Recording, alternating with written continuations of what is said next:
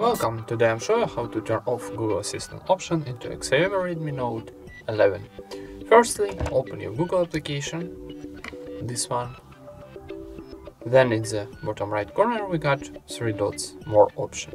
So click it and choose settings.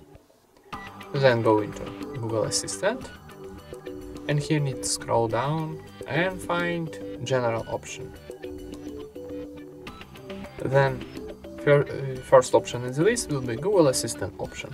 And now need click to switcher to turn off. Turn off Google Assistant, confirm operation click turn off one more time, and that's it.